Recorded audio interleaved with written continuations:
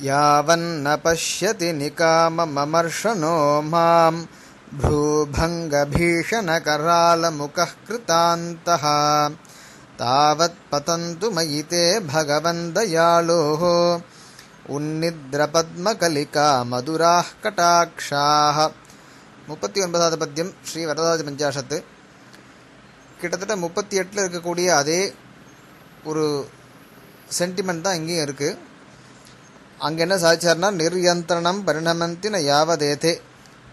யாவத்து தாவத்து. எதுவரை அதுவரை. எதுவரை என்னுடைய பாப்ப முளைகள்லாம் இருக்கே அவைகள்லாம் தடையின்றி வளர்ந்து பயன்தரும் நிலையை அடையவில்லையோ அதற்கு முன் நீ வந்து என்னை ரட்சிக்க வேண்டும். உன்னுடைய வில்லை ஏந்தி கொண்டு வான்னு சொன்னார். ஷார்ங்க தன்வா பூத்வா. ஷார்ங்க தன்வான்னு ஏன் போட்டுட்டார்னா அதுக்கு வியாக்கியானத்தில் காண்பிக்கிற வில்லுன்ற ஆயுதத்தை வச்சுட்டு பக்கத்தில் இருக்கக்கூடிய வஸ்துவையும் நம்ம அழிக்கலாம் தூரம் இருக்கக்கூடிய வஸ்துவும் அழிக்கலாம். மிச்ச ஆயுதங்கள் எடுத்துட்டோம்னா சக்கரமாக இருந்தால் கூட சக்கரம் போயிட்டு வரணும் அதில் டிலே இருக்கலாம். ஆனால் வில் எடுத்துட்டோம்னா என்ன ஆகும்னா சரமாரியாக அம்பை விடலாமாம். சரமழை போல்னு ஆண்டாள் சாதிச்சா மாதிரி. சரமழை பொழிஞ்சா அந்த சரமழையில் கிட்டக்க இருக்கக்கூடிய விஷயங்களும் அதுக்கு இலக்காருது தூரம் இருக்கக்கூடிய விஷயங்களும் இலக்காரு தான் அப்போது இன்னும் ஃபாஸ்ட்டாக வேகமாக பாப்ப முளைகளை வந்து இம்பரம் அழிக்கலாமா? அதனால் ஷாருங்கம் ஏந்திவான்னு சாதிச்சார்னு அழகாக காண்பிக்கிறார். இப்போ முப்பத்தி ஒம்போதில் சொல்ல போகிறார் யாவன்ன பஷ்யதி.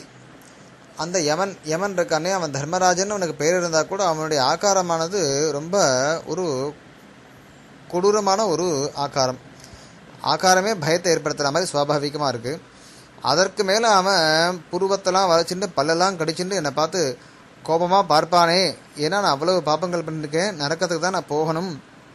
அப்படின்னு இதர ஜனங்களுக்கு இருக்கக்கூடிய ஒரு இதை தன் தான் மீது ஈரிட்டுன்னு அவர் சாதிக்கிறார். சுவாமி தேசிகருக்கு ஒரு காலம் அந்த மாதிரி எண்ணம் வரப்போகிறதே இல்லை. இருந்தாலும் நம்மள மாதிரி இல்லை அடியேன் மாதிரி இருக்கிறவாளுக்கு அந்த எண்ணம் இருக்கணுன்றதுக்காக இந்த பத்தியத்தை இந்த மாதிரி பத்தியங்கள்லாம் அமைச்சிருக்கார்.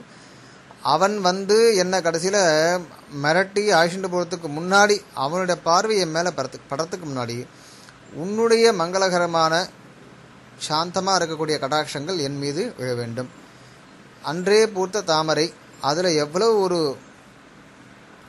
ஒரு மதுரமும் ஒரு டெண்டர்னஸ்லாம் இருக்குமோ அப்படிப்பட்ட ஒரு ஒரு குளிர்ந்த கருணை நிறைந்த உண்ட கடாட்சங்கள் என் மீது விழ வேண்டும். அது விழுந்துட்டுனா நான் வந்து யமதூதர்களுடைய வசத்துக்கு போக மாட்டேன். உன் திருவடிக்கு வந்து சேருவேன்னு ஒரு தாத்பரியம். திருப்பியும் அதே கான்செப்ட் தான். பிரபன்னாக இருந்தால் கூட ஜாகிரதையாக அந்த தேக யாத்திரை நடத்தணும். அதில் எந்த விதமான அபச்சாரங்கள் நேரிடாமல் பார்த்துக்கணும். அப்போ ஒரு ஒரு கர்மாவை பண்ணச்சும் நம்ம ஜாகிரதையாக இருக்கணுன்றதுக்கு இதெல்லாம் ஒரு ஞாபக ஹேத்துவாக இருக்குது ஏன்னா சுவாமி வந்து அபிதி சபத்தை சாதிச்சிருக்கார். ந பக்தும் அப்பி சக்கியத்தே நரக கர்ப்பவாசாதிகம் அப்படிங்கிறார். இந்த நரக்க இத்தியாதிகள் இருக்கக்கூடிய வாசம் இருக்கே என்ன வக்தும் அப்படி சக்கியதேன்றார் சொல்லக்கூட முடியாது. சொல்ல ஒன்றா துயரமாக இருக்குமா அது? ஆனால் அந்த பயமானது நமக்கு இருக்கணும். பிரபண்ண நரகத்துக்கு போவானான்ற விசாரம் இல்லை. அந்த பாவம் நமக்கு இருந்ததுன்னா நம்ம எந்த விதமான நம்ம பா பாப்பங்கள் மேலும் பண்ணாமல் இருக்கிறதுக்கு அந்த ஸ்மிருதியானது நமக்கு உதவி பண்ணும்.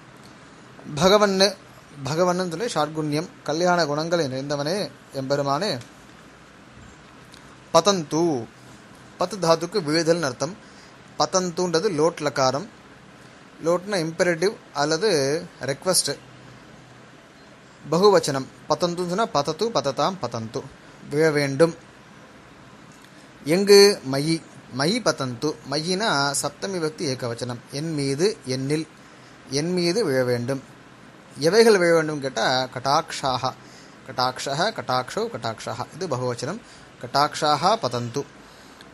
கட்டாட்சங்கள் என் மீது விழ வேண்டும். யாருடையது? தே கட்டாட்சாக தவத்தே. ஷஷ்டி பக்தி ஏகவச்சனம். உன்னுடைய கட்டாட்சங்கள் தே கட்டாட்சாக தவ கட்டாட்சாக நீ யாருன்னு கேட்டால் தயாலோகோ தயாலுவான உன்னுடைய. தயாலோகோன்றது ஷஷ்டி பக்தி ஏகவச்சனம். அது தேக்கு விசேஷனம். தயாலு கருணை நிறைந்தவனான உன்னுடைய அர்த்தமாகுது அவைகள் எப்படிப்பட்ட கடாட்சங்கள்? மதுராக கட்டாட்சாக மதுராக கட்டாட்சான்றது மிகவும் குளிர்ந்த மதுரம் சொன்னால் இனிமை. இனிமையாக இருக்கிறதுலாம் குளிர்ந்ததாக இருக்கும் குளிர்ச்சியை ஏற்படுத்தும். அப்படிப்பட்ட குளிர்ந்த கடாட்சங்கள்னு அர்த்தமாச்சு. அதுக்கு ஒரு உபமா சொல்லணும். உன்னித்ர பத்மகலிகா. உன்னித்ரம்னா மலர்தல்னு அர்த்தம். கண் விழித்தல்னு அர்த்தம். அப்பொழுதே மலர்ந்த பத்மகலிகா. பத்மன தாமரை கலிக்கான மொட்டு. அப்பொழுது மலர்ந்த தாமரை முட்டுக்களை அதில் வாட்டம் இருக்காது. இன்னும் எல்லாமே அதில் ஸ்ரேயஸாக இருக்கும் அதனுடைய குணங்கள்லாம். அப்படி அப்படிப்பட்ட குளிர்ந்த கடாட்சங்கள் என்பதை விழ வேண்டும். எப்பன்னு கேட்டால் தாவத்து. தாவத்துனா அதுக்குள்ளேன்னு அர்த்தம். அப்போனா எதுக்குள்ளேன்னு முன்னாடி சொல்ல போகிறார் தாவத்து அதற்குள்ளே உன்னுடைய கட்டாட்சங்கள் என்பதை விழ வேண்டும்னார். அப்போ எதுக்குள்ளன்னு சொல்லச்சு? அப்போ சொல்ல போகிறார் யாவத்து நிகாமம் அமர்ஷணः பூபங்க பீஷண கரால முகஹ கிருதாந்தக யாவத்து மாம் ந பஷ்யதி. அல்லது யாவத்து முதல்ல போட்டால் ரிப்பீட் பண்ண வேண்டாம் யாவத்து எதற்குள்னு கேட்டால் நிகாமம் அமர்ஷனக நிகாமம்னா அதிகப்படியான அர்த்தம். அட்வபது மிகவும் அமர்ஷனக மர்ஷன கோம் அமர்ஷன்னா அமர்ஷனம் சொன்னால் பயங்கர ஒரு கோபத்தை உடையவன் அர்த்தம். அமர்ஷனகன்னு சொன்னால் இது யமனுக்கு விசேஷனம். கிருதாந்தகன்னு சொல்லப்படுறார் கிருதாந்தகன் யமனுக்கு பெயர். அமர்ஷனக கிருதாந்தக ப்ரூபங்க பீஷண. ப்ரூன்னு சொன்னால் புருவம். இந்த ஐப்ரோன்னு கூட இங்கிலீஷில் அது ப்ரூலேருந்து தான் வந்திருக்குன்னு தோன்றது. Bro Bru. ப்ரூ பங்க. பங்கன்னு அந்த வளைக்கிறது. நம்ம பார்க்குறோம். புருவத்தெல்லாம் நல்லா கோபமாக இருக்கச்சு புருவத்தெல்லாம் வளைச்சி தான் காண்பிக்கிற. நாட்டியாதிகள்லாம் கூட அந்த கோபத்தை வெளிப்படுத்துறதுக்கு புருவத்தெல்லாம் வளைக்கிறேன் அப்படி புருவங்களை நெரிச்சுண்டு பீஷண கரால. புருவத்தை நெரிக்கிறதுன்றது கோபத்தை காண்பிக்கிறதுக்காக. பீஷண கராலன்னு சொல்லிச்சு பீஷணனா பயங்கரமான பிரதிபட ஸ்ரேணி பீஷணா. கராலன கொடிய. ஒரு கால் இந்த குரூயல்ன்ற கூட கராலன்னு வந்திருக்கலாம் போல இருக்கு. கரால குரூயல்னு. கராலனா இப்போ கொடிய. கொடிய முகஹா. ஸோ அவனுடைய ஆகாரமும் ஒரு குரூரமாக இருக்குது அதற்கு மேலே அவன் இன்னும் தன்னை ஒரு குரூரத்தை வெளிப்படுத்துகிறானா அந்த புருவத்தில் நெளிச்சு. அப்படிப்பட்ட கிருதாந்தகா யமன். இப்போ இந்த முகஹ ப்ரூபங்க பீஷண கரால முகஹன்ற சமஸ்த பதம் அது கிருத்தாந்தகாக்கு விசேஷனம். அதே மாதிரி நிகாம மமர்ஷனகாவும் அவனுக்கு விசேஷனம். அப்படிப்பட்ட யமன் மாம் ந பஷ்யதி யாவத்து மாம் ந பஷ்யதி எதற்குள் என்னை நோக்கவில்லையோ? பஷ்யத்தின்னு சொன்னால் பார்க்கிறான். ந பஷ்யத்தின்னு சொன்னா யாவன் ந பஷ்யத்தின்னு சொன்னால் எதுவரை என்னை பார்க்கலையோ அதற்குள்ளே அர்த்தம். அவனுடைய திருஷ்டி என் மேல விழறதுக்கு முன்னாடி உன்னுடைய கட்டாட்சங்கள் என் மீது விழுந்து என்னை காப்பாற்ற வேண்டும். ஒரு அன்வயத்தை பார்த்தோம்னா பகவன் யாவத் நிகாமம் அமர்ஷணः ப்ரூபங்க பீஷண கரால முகः கிருதாந்தः மாம் ந பஷ்யதி தாவத் உன்னித்ர பத்மகலிகா மதுராக தயாலோஹோ தே கட்டாட்சாக மை பதந்து.